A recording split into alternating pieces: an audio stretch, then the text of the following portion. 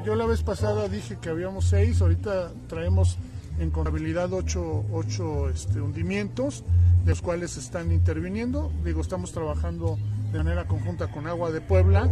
Eh, se pasa el reporte, se acordona la zona y se hace la intervención. Y bueno, hasta ahorita tenemos ocho, ocho hundimientos que ya se están corrigiendo, otros ya se terminaron, como el caso de la, de la 25 Sur, que ya, ya está terminado. El, de circunvalación ya también ya está terminado. Entonces, este, bueno, nosotros seguimos al pendiente, es normal, eh, digo, no, no, no es que minimice el tema, pero es normal por este tema de, la antigüedad de tuberías este, que llegan a colapsar, no, no es para que la gente se espante, desgraciadamente, bueno, hay, hay algunos este, eh, automovilistas que no han tenido suerte y que han, han sido parte de este movimiento, pero bueno, este, nosotros estamos coordinados de manera permanente con Agua de Puebla para darle solución.